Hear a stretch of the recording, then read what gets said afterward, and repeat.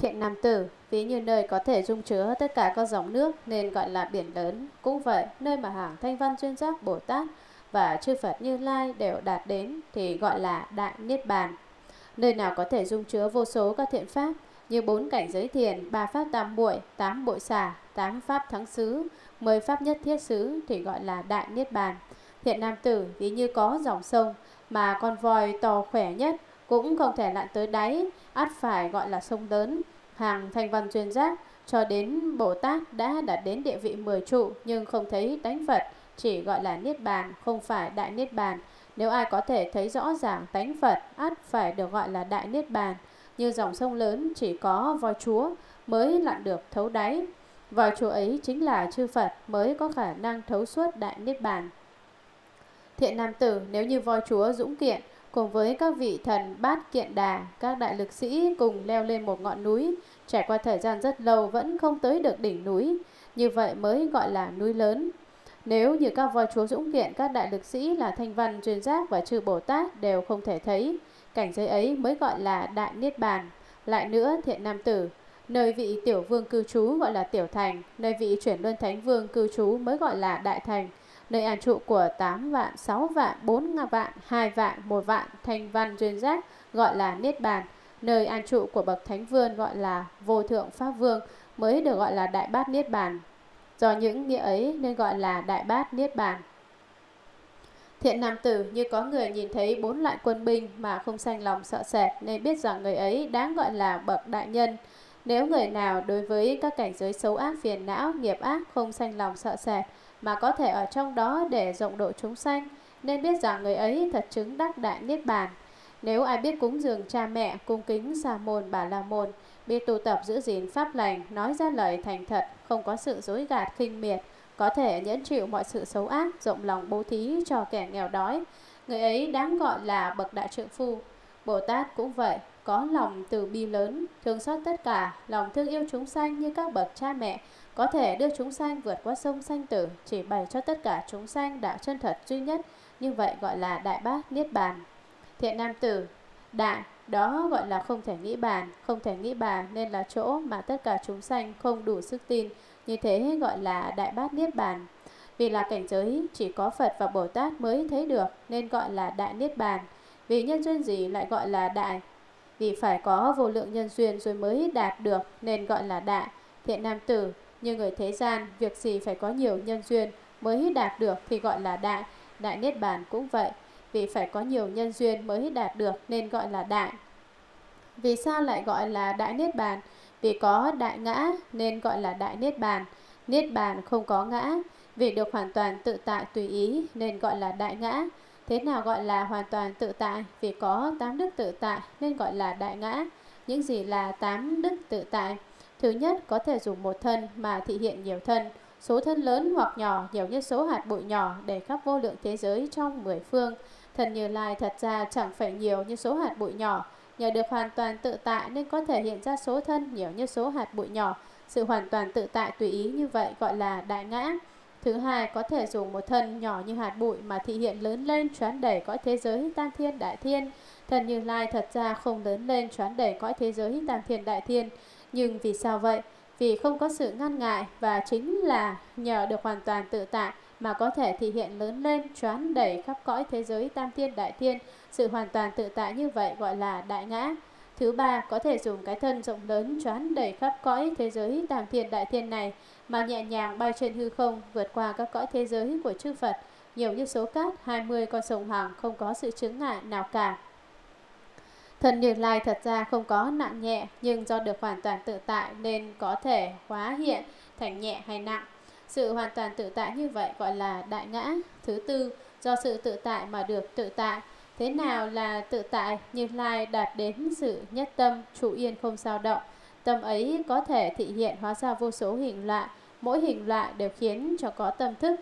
Có khi Như Lai tạo ra một sự việc mà khiến cho tất cả chúng sanh đều thành tựu đầy đủ. Thần Như Lai thường trụ ở một cõi mà khiến cho tất cả chúng sanh ở các cõi khác đều nhìn thấy được. Sự hoàn toàn tự tại như vậy gọi là đại ngã. Thứ năm, do nơi căn tự tại. Thế nào gọi là căn tự tại? Mỗi một căn của Như Lai đều có thể nhìn thấy hình sắc, nghe âm thanh, ngửi mùi, nếm vị, xúc chạm, biết pháp. Cả sáu căn của Như Lai lại cũng không thấy hình sắc, không nghe âm thanh, không ngửi mùi, không nếm vị, không xúc chạm, không biết pháp. Vì hoàn toàn tự tại nên khiến cho các căn đều được tự tại. Sự hoàn toàn tự tại như vậy gọi là đại ngã. Thứ sáu, do hoàn toàn tự tại nên chứng đắc tất cả các pháp. Trong tâm Như Lai cũng không hề có ý tưởng chứng đắc. Vì sao vậy? Vì không có chỗ chứng đắc. Nếu là có mới gọi là chứng đắc. Thật không gì là có, làm sao gọi là chứng đắc? Nếu Như Lai có ý tưởng cho là có chứng đắc, ắt chư Phật, không thật chứng đắc Niết Bàn. Vì không có chỗ chứng đắc nên mới gọi là chứng đắc Niết Bàn. Vì hoàn toàn tự tại nên chứng đắc tất cả các pháp. Vì chứng đắc tất cả các pháp nên gọi là đại ngã. Thứ bảy, do nơi sự giảng thuyết tự tại nên Như Lai có thể giảng thuyết rộng ý nghĩa của một bài kệ mà trải qua vô lượng kiếp cũng không hết nghĩa. Như nói về giới hoặc nói về định hoặc về bố thí hoặc về trí tuệ như Lai trong lúc ấy chẳng hề sanh khởi ý niệm rằng có người thuyết giảng, có người nghe, cũng không sanh khởi ý tưởng là có bài kệ. Người đời lấy hình thức bốn câu gọi là một bài kệ, Như Lai vì tùy thuận thế gian nên thuyết giảng gọi là kệ, nhưng tánh thật của tất cả các pháp cũng không có sự giảng thuyết. Vì được hoàn toàn tự tại nên Như Lai giảng thuyết, vì giảng thuyết nên gọi là đại ngã. Thứ tám, Như Lai biến hiện khắp cả mọi nơi, giống như hư không, tánh của hư không là không thể nhìn thấy được. Như Lai cũng thế, không thể nhìn thấy được. Nhưng nhờ sự tự tại nên khiến cho tất cả chúng sanh đều nhìn thấy. Sự hoàn toàn tự tại như vậy nên gọi là đại ngã. Đại ngã như vậy gọi là đại niết bàn. Do những nghĩa ấy nên gọi là đại niết bàn. Lại nữa thiện nam tử, ví như kho tàng châu báu có nhiều vật quý hiếm, đầy đủ hàng trăm loại nên gọi là kho tàng lớn. Kho tàng rất sâu xa, uyên áo của chư Phật Như Lai cũng vậy. Có nhiều sự vật lạ kỳ, đầy đủ không thiếu sót nên gọi là đại niết bàn. Lại nữa thiện nam tử, sự vật không có giới hạn mới gọi là đại. Đại niết bàn không có giới hạn nên gọi là đại. Lại nữa thiện nam tử, vì có niềm vui sướng lớn lao nên gọi là đại niết bàn. Đại niết bàn thật không có vui, vì có đủ bốn niềm vui lớn lao nên gọi là đại niết bàn. Những gì là bốn niềm vui lớn lao? Thứ nhất là dứt trừ sự vui. Nếu không dứt trừ sự vui, ắt gọi là khổ. Nếu có khổ, thì không gọi là niềm vui lớn lao. Nhờ dứt trừ sự vui nên không có khổ. Không khổ không vui mới gọi là niềm vui lớn lao.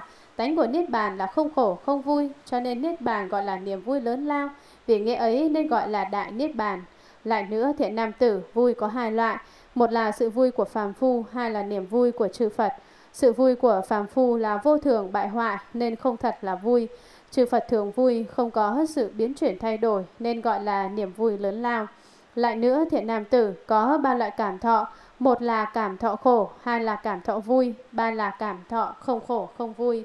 Cảm thọ không khổ không vui của phàm phu thật ra cũng chính là cảm thọ khổ. Niết bàn tuy cũng là không khổ không vui nhưng gọi là niềm vui lớn lao. Vì là niềm vui lớn lao nên gọi là đại niết bàn. Thứ hai là vì hết sức tĩnh lặng nên gọi là niềm vui lớn lao. Tánh của niết bàn là hết sức tĩnh lặng. Vì sao vậy? Vì lìa xa tất cả các pháp rối rắm ồn ào. Vì hết sức tĩnh lặng nên gọi là đại niết bàn. Thứ ba là vì rõ biết tất cả nên gọi là niềm vui lớn lao. Nếu không phải rõ biết tất cả thì không gọi là niềm vui lớn lao. Vì chư Phật Như Lai rõ biết tất cả nên gọi là niềm vui lớn lao.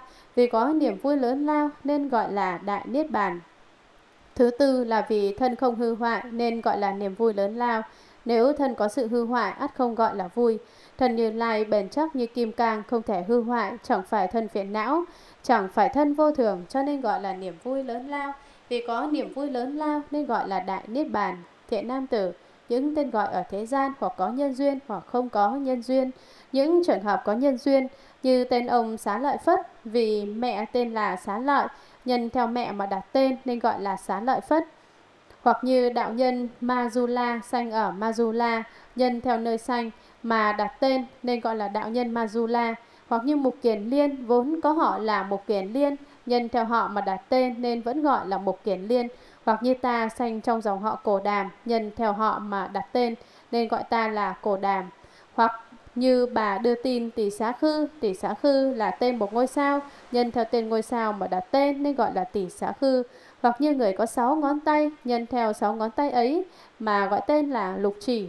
Hoặc như những danh sừng Phật nô là tôi tớ của Phật, thiên nô là tôi tớ của chư thiên, đều là nhân nơi Phật, nơi chư thiên mà có. hoặc như những loài từ chỗ ẩm ướt mà sanh ra, người ta liền gọi là thấp xanh, hoặc nhân theo tiếng kêu của các giống vật mà đặt tên như Kakala, Cứu Cứu La, Đát Đát La, những tên gọi như vậy đều do nhân duyên mà có.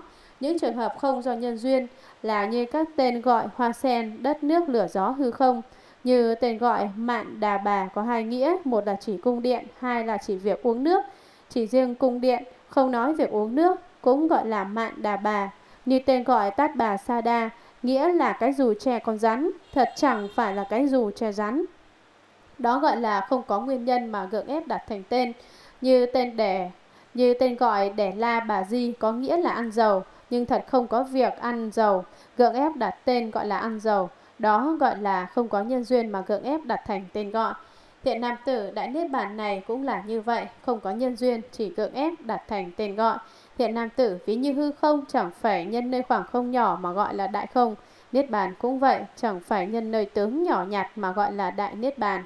Thiện nam tử ví như sự vật không thể cân lượng, không thể nghĩ bàn nên gọi là đại. Niết bàn cũng vậy, vì không thể cân lượng, không thể nghĩ bàn nên được gọi là đại niết bàn. Vì thanh tịnh thuần khiết nên gọi là đại niết bàn. Thiện nam tử, thế nào là thanh tịnh thuần khiết? Thanh tịnh có bốn loại. Những gì là bốn? Thứ nhất, 25 cảnh giới hiện hữu gọi là không thanh tịnh, vì có thể dứt trừ mãi mãi nên được gọi là thanh tịnh. Thanh tịnh tức niết bàn, niết bàn như vậy cũng được gọi là hiện hữu, nhưng niết bàn ấy thật chẳng phải là hiện hữu. Chư Phật Như Lai vì tùy thuận thế tục nên nói rằng niết bàn hiện hữu. Ví như người đời chẳng phải cha gọi là cha, chẳng phải mẹ gọi là mẹ, thật chẳng phải cha mẹ mà gọi là cha mẹ. Niết bàn cũng như thế, vì tùy thuận thế tục nên nói rằng chư Phật có đại niết bàn. Thứ hai là do nghiệp thanh tịnh, tất cả phàm phu vì nghiệp không thanh tịnh nên không có niết bàn.